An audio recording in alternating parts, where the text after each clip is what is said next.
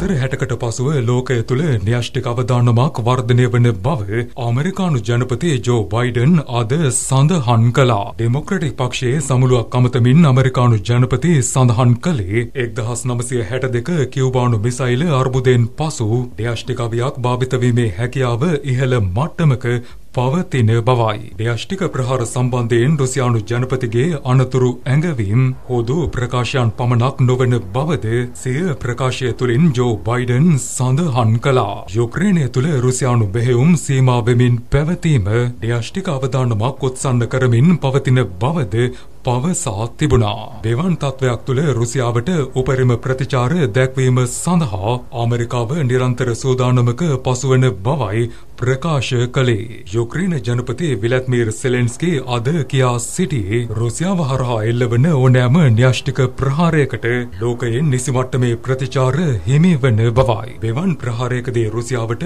කිසිදු සමාවක් හිමි නොවන බවද යුක්‍රේන ජනපති සඳහන් කළා. මේ අතර යුක්‍රේන හමුදාවට න්‍යෂ්ටික ප්‍රහාරයක් එල්ල කරන ලෙස බෙදුම්වාදී කලාපේ නායක ඩෙනිස් පොෂලින් සිදු කළ ඉල්ලීම ක්‍රෙම්ලිනය විසින් බැහැර කර තිබුණා. ක්‍රෙම්ලිනයේ ප්‍රකාශක දිමිත්‍රි පෙස්කෝ සඳහන් කළේ න්‍යෂ්ටිකවයක් භාවිත කිරීමට අවශ්‍ය තත්ත්වයක් බේදක්වා යුක්‍රේනයේ මෙහෙයුම තුළ උදා වී නොමැති බවයි. යුක්‍රේන යුද්ධයේ දෙසිය විසි හය වන දිනය වූ අද රුසියාවට අයත් ද්‍රෝණ ප්‍රහාරකයන විස්සක් බිමහෙලූ බව යුක්‍රේන හමුදාව දැනුම් දී තිබෙන තිබෙනවා. ඊරානයේ නිෂ්පාදිත ශහේඩ් එකසිය තිස්සය වර්ගේ ඩ්‍රෝන යානා කෙර්සන් සහ ලුහන්ස් කලාපය තුළදී බිමහෙලූ බවයි නිවේදනය කළේ. යුක්‍රේනයේ කියව් අගනුවර සහ ඔඩෙස්සා නගරය වෙත රුසියානු හමුදා විසින් ඩ්‍රෝන ප්‍රහාරක යානා භාවිත කරමින් අවස්ථා කිහිපයකදී ප්‍රහාර දියත් කළ බවයි අනාවරණ කළේ. සැපරිස්යා කලාපය වෙත එල්ල වූ රුසියානු මිසයිල ප්‍රහාර තුළින් යුක්‍රේන වැසියන් එකොළොස් දෙනෙකු මියගොස් තිබූ අතර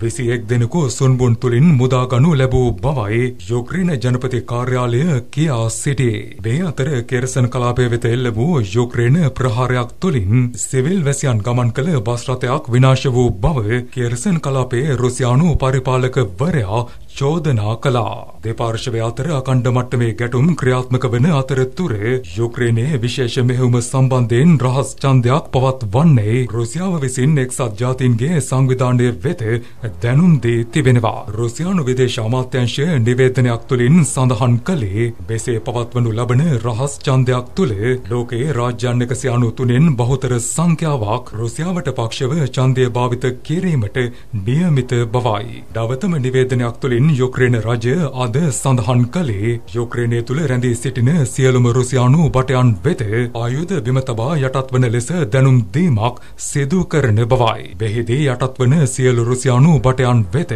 සම්පූර්ණ මට්ටමේ සමාවක් ලබා දීමට කටයුතු කරන අතර ඔවුන්ගේ ජීවිත ආරක්ෂා කරන බවයි දන්වා තිබුණේ. ක්‍රෙම්ලිනය විසින් රුසියානු බටයන්ගේ ජීවිත පවවාදී පවතින අතර ඒ හේතුවෙන් හැට දහස ඉක්ම වූ රුසියානු බට පිරිසක් යුක්‍රේන යුද්ධය තුළදී මරණයට පත්ව පවතින බවද දන්වා තිබෙනවා. මේ අතර ක්‍රෙම්ලිනේ ප්‍රකාශක දිමිත්‍රි පෙස්කෝව් කියා සිටියේ තුන්වන ලෝක යුද්ධයක් නිර්මාණය කිරීම සඳහා යුක්‍රේන ජනපතිවරයා දැඩි කැපවීමෙන් යුතුව කටයුතු කරන බවයි. රුසියාවට එරෙහිව නේටෝ හමුදාවන් යෙදවීම සඳහා යුක්‍රේනය විවිධ මට්ටමේ සැලසුම් ක්‍රියාත්මක කරන බවද දන්වා තිබුණා. දෛනික වාර්තාව තුළින් රුසියානු ආරක්ෂක අමාත්‍යංශය සඳහන් කළේ ලුහන්ස් කලාපය වෙත ඇතුළුවීමට තැත් කළ යුක්‍රේනයේ සන්නද්ධ රථ පෙළක් ඩ්‍රෝන ප්‍රහාරකයන්නා භාවිත කරමින් දැවන්ත ප්‍රහාරයකට ලක් කළ බවයි. මෙහිදී යුක්‍රේන හමුදාවේ සන්නද්ධ රථ පහක් සම්පූර්ණ මට්ටමින් වනසා දමා පවතින බවද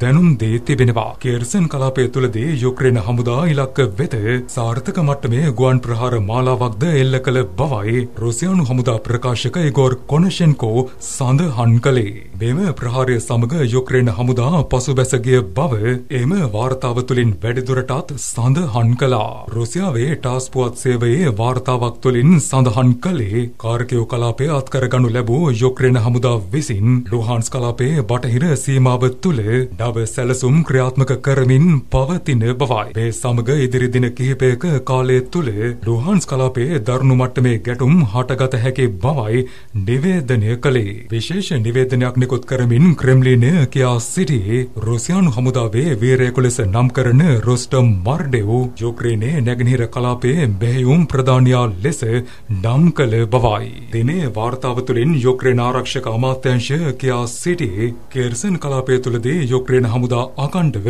ඉදිරියට ගමන් කරන බවයි. කේර්සන් කලාපයේ ප්‍රධාන නගරයේ ආසන්න සීමාව තුළ යුක්‍රේන හමුදා උපාය මාර්ගික ප්‍රහාර දියත් කරන බවද නිවේදනය කළා. මේ සමග කලාප කිහිපයක් තුළ රුසියානු බටයන් යුක්‍රේන හමුදාවන්ට කොටුවීමේ අවධානමක්ද මතුව පවතින බවයි දන්වා තිබුණේ. මේ අතර කාර්කයෝ කලාපයේ අත්පත් කරගත් මෙහෙයුම තුළ රුසියානු හමුදාවට අයත් යුද ටැංකි 440ක් යුක්‍රේන හමුදා අතට පත්ව පවතින බව අද අනාවරණ කළා. මෙහිදී රුසියානු හමුදාවේ සන්නද්ධ රථ 650ක්ද යුක්‍රේන හමුදා භාරයට පත්ව පවතින බවයි දන්වා තිබුණේ. මේ සමග රුසියාව යුක්‍රේනයේ ප්‍රධානතම අවි සැපයුම්කරු බවද යුක්‍රේන හමුදා නිකුත් කළ නිවේදනය තුළින් ප්‍රකාශ කළා. බ්‍රිතාන්‍ය බුද්ධ්‍යංශයේ දෛනික වාර්තාවක් තුළින් කියා සිටියේ භූමියේ ජයග්‍රහණ වාර්තා කිරීම තුළ යුක්‍රේන හමුදා මේ වන විට ඉදිරියෙන් පසුවන බවයි. මේ සම්බන්ධයෙන් රුසියාව දක්වන ප්‍රතිචාරය පිළිබඳ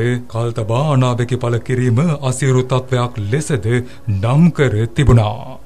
ලොව වටා වැදගත් පුවත් දැනගන්න ලංකා ඒ නිවුස් සබස්ක්‍රයිබ් කරන්න. නවතම වීඩියෝ සඳහා පහත සීනුවේ බොත්තම සක්‍රිය කරන්න.